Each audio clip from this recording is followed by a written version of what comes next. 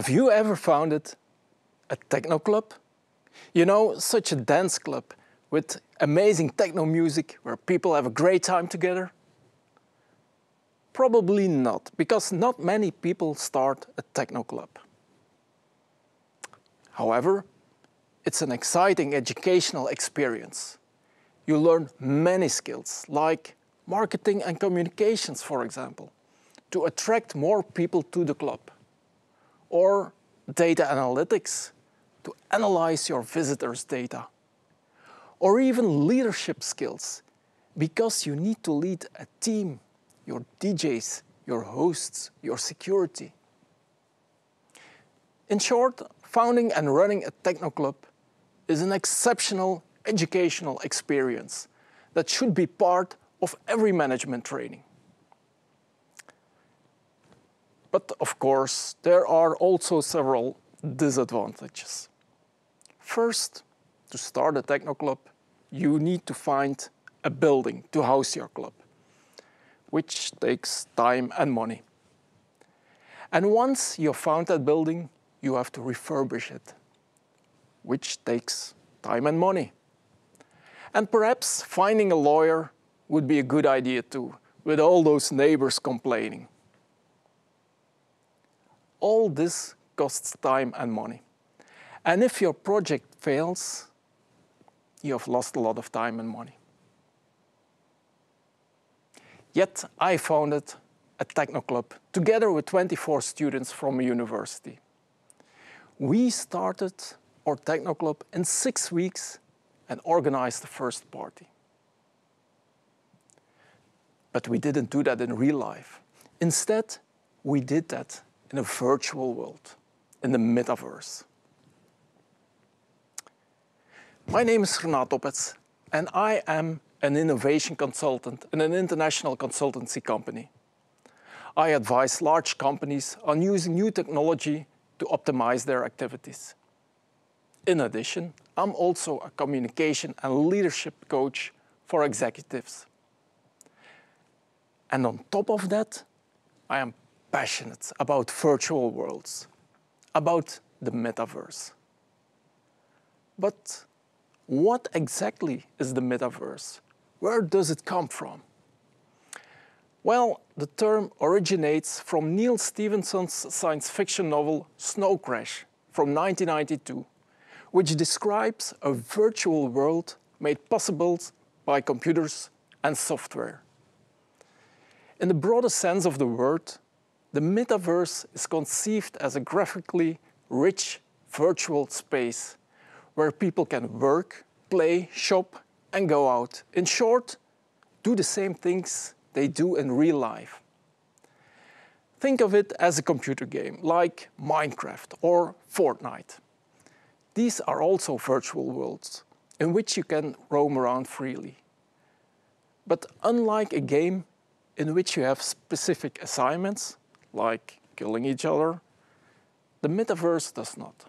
It's a computer game without objectives. It's just a virtual copy of society with cities, with streets, shops, art, and an extensive nightlife. 20 years ago, I discovered these virtual worlds and I saw their potential. Initially, this was only as a spectator and consumer of everything that was offered. But over the years, I also started to offer services and goods myself. I bought some virtual houses and started renting them out. But I had no customers. So I started a marketing and advertising campaign. And then I got my first tenant. But it was only one tenant. And after analyzing the rents, I determined that I was too expensive. So then I made the prices in line with the market and I got more customers. But then some started complaining about the facilities and I learned to deal with demanding customers. And suddenly I got the insight. Hey, I'm not playing here, I'm doing business. And I learned a lot from this. And I'm having fun. This insight inspired me to move forward. I started to think about developing a business game based on my experience in the virtual world. The concept of a business game has also been around for a while. A business game is a game in which one develops new skills while playing. For example, I once played a business game where we had to build a pyramid with Lego. Everyone had their task. Someone was responsible for logistics, someone for construction, for cost follow-up, etc. And throughout the game, things went wrong. And there were learning moments. In the end, we managed to build the pyramid. We had big fun and we learned a lot of new business skills. I decided to test drive this concept in the metaverse. And to make it more appealing to an audience of students, I chose to launch the concept of founding a techno club. I teamed up with an existing club and together we created the Techno Theater Challenge.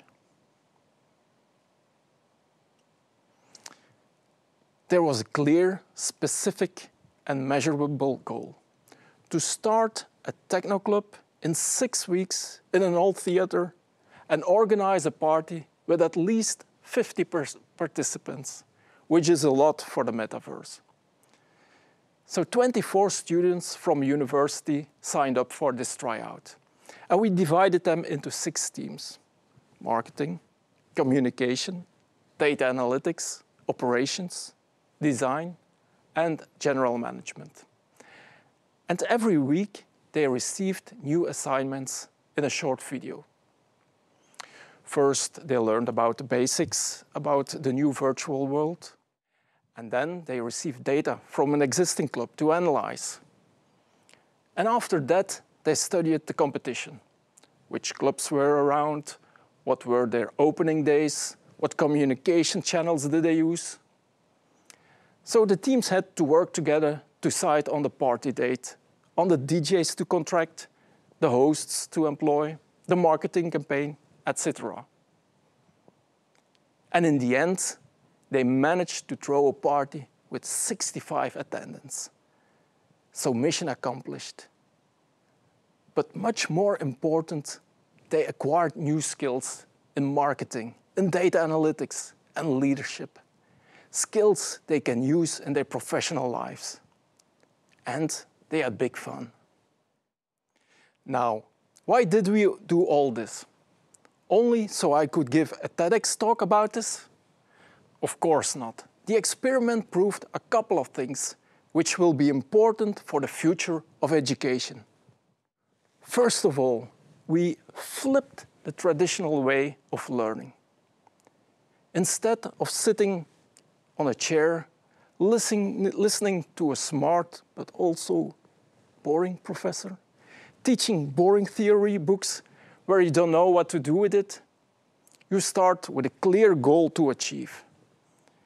You need the knowledge so you're more motivated to learn it. Else you won't have 50 people at your party. Secondly, things are way faster and cheaper in the metaverse. Buying land, buying a club, and putting it all together takes only a couple of hours and you don't have to leave your comfortable chair. It's all virtual, but the people are real. The DJs are real. The hosts are real. And your audience is real so that you can make a perfect simulation. And finally, if you fail, that's no big deal. You just delete your account. You're not going bankrupt, not going to court, no lawyers, not living under the bridge. But most of all, it's fun. And fun is one of the essential factors in everything you do. If you don't have fun doing the things you do, you won't succeed. Recently, the metaverse has become a big hype. And it does have a lot of potential. But will it replace traditional education? The only thing that is for sure is that it offers so many possibilities to enhance and enrich the conventional educational system. By adding more purpose and more fun to the courses, people will learn better and faster. Imagine this, as a student, you arrive your first day at university and you get only one assignment. Found a techno club, or start up a shop, or rent out buildings, in the metaverse, of course. And every course during the year will be linked to this assignment. That would be more meaningful, motivating, more fun, and ultimately would give you more free time to attend a real techno party.